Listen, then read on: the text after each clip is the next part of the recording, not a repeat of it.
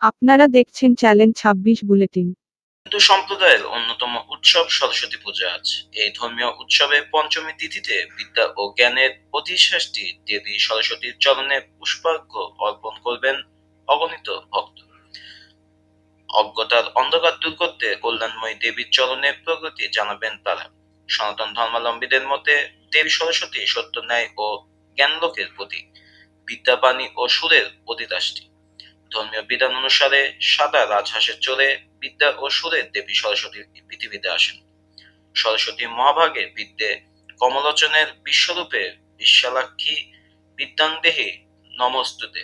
সনাতন ধর্মাবলম্বীরা এই মন্ত্র উচ্চারণ করে বিদ্যা ও জ্ঞান অর্জনের জন্য দেবী সরস্বতীর অর্চনা করবেন। সরস্বতী পূজা উপলক্ষে হিন্দু সম্প্রদায় আজ বাণী অর্চনা সহ নানা ধর্মীয় অনুষ্ঠানের আয়োজন করেছে। বগুড়ার বিভিন্ন মন্দিরগুলো সহ বগুড়া জেলা স্কুলে অনুষ্ঠানমালায় রয়েছে পুষ্পাঞ্জলি প্রদান, প্রসাদ বিতরণ, ধর্মীয় আলোচনা সভা, সাংস্কৃতিক অনুষ্ঠান, সন্ধ্যা আরতি, আলোকসজ্জা প্রভৃতি। তবে করোনা পরিস্থিতির কারণে সারা দেশের স্কুল, কলেজ, বিশ্ববিদ্যালয় বন্ধ থাকায় প্রতি বছরের মতো এবার বগুড়ায় অনেক স্কুল, কলেজে বিদ্যা ও আরাধনা দেবী সরস্বতী পূজার আয়োজন হচ্ছে না। বগুড়া থেকে Nayan Roy channel twenty six.